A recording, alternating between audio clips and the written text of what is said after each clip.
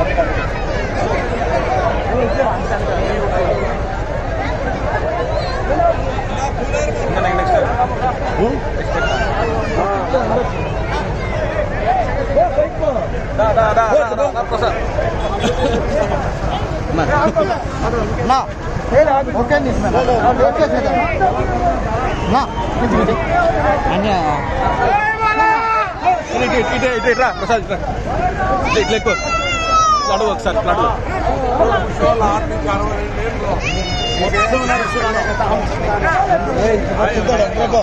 అట్లా- అట్లా అలో చేయడం లేదు.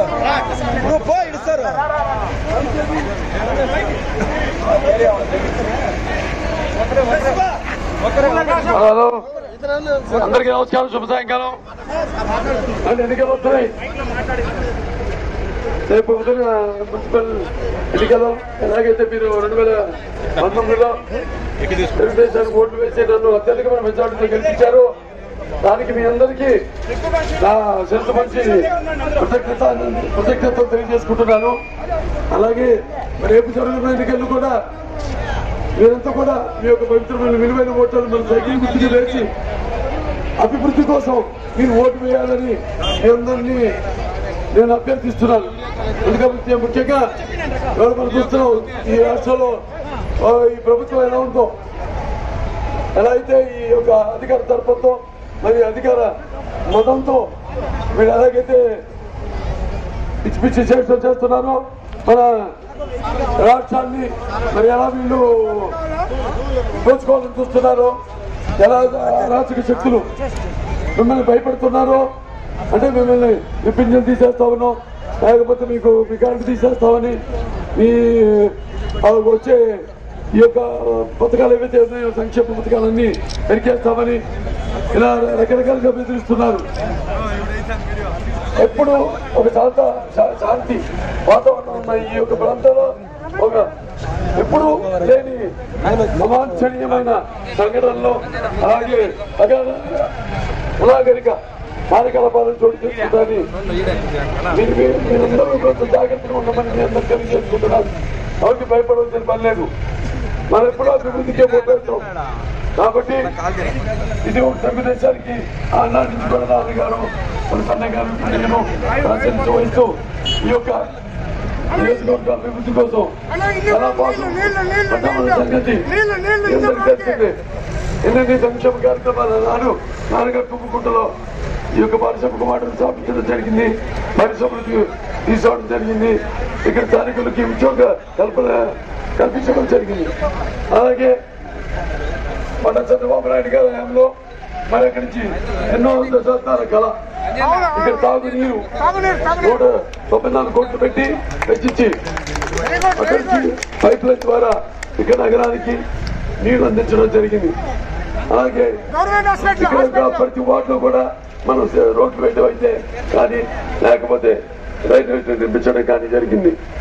అలాగే ఇక్కడ ఉన్న పారిశుద్ధానికి ముఖ్యంగా దాని పరిధిలోకి తీసుకుని మన పరిసర ప్రాంతాలు శుభ్రంగా ఉండాలని ఇక్కడ చెత్తలతో కూడా వాహనాలతో తరలించడం జరిగింది ఊరి బయటికి.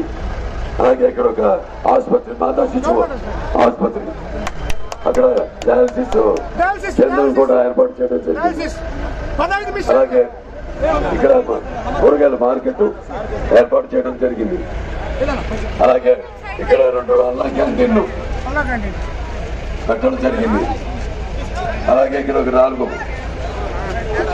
ఉద్యానవనాలు నిర్మించడం జరిగింది. అలాగే ఇక్కడ పశువుల ఆసుపత్రి కూడా ఏర్పాటు చేయడం జరిగింది. అలాగే ఇక్కడ మన మైనార్టీస్ అందరూ కూడా అన్ని వర్గాల వారికి అన్ని కులాల వారికి అన్ని మతాల వారికి అన్ని సకల సదుపాయాలు సమకూర్చేలా ఎన్నో వినూత్నమైన పథకాలను రూపొందించి మనకి ఎంత బడ్జెట్ కౌంటున్నా సరే ఇవన్నీ కూడా సమకూర్చడం జరిగింది మీ అందరికీ. అలాగే పేదవాడు వాళ్ళు నివాస యోగ్యమైన ఆత్మాభిమానంతో నివసించడానికి మరి కొట్టుపీలో మరి ఇల్లు రెండు వేల ఎనిమిది వందల ఇల్లు నిర్మించడం జరిగింది. మరి ఇంతవరకు ఆ పూర్తి చేయలేదు. వాళ్ళు రెండు సంవత్సరాలు అయింది వాళ్ళు ఎవరికి కేటాయించలేదు. అర్హులైన వాళ్ళకి ఎవరెవరైతే ఇంతకు ముందు డిపాజిట్ పే చేశారో లేకపోతే ఎవరెవరైతే అర్హులో వాళ్ళకి ఆ ఇళ్ళు కేటాయించలేదు ఇంతవరకు. కాబట్టి ఇవన్నీ కూడా మీరు దృష్టిలో పెట్టుకుని ఏమేమి అభివృద్ధి కార్యక్రమాలు మన తెలుగుదేశం ప్రభుత్వం చేపట్టిందో అరవై ఐదు కోట్ల రూపాయలు ఆనాడు చంద్రబాబు నాయుడు మున్సిపల్ మంత్రిగా ఉన్నప్పుడు స్పెషల్ డెవలప్మెంట్ ఫండ్ కింద తీసుకోవడం జరిగింది. రేపు మన మున్సిపాలిటీ గెలిచి తప్పకుండా అరవై ఐదు కోట్ల రూపాయలు మున్సిపాలిటీ ద్వారా మళ్ళీ మిగిలిన ఏదైతే రోడ్లు ఉన్నాయో డ్రైనేజ్ ఉన్నాయో అన్ని కూడా వేయిస్తాము కడతాం నిర్మిస్తామని మీ అందరు తెలియజేసుకుంటాను. అన్న క్యాంటీన్ మళ్ళీ తెరిపిస్తాం. అలాగే ఖర్చులకి మరి ఇక్కడ అంబేద్కర్ భవన్ని నిర్మించడం జరిగింది.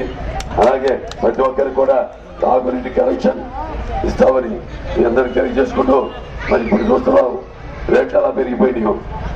ఆ నూనె లేకుండా ధరల మీద ఒక నియంత్రణగా ఈ యొక్క ప్రభుత్వం వ్యవహరిస్తుంది.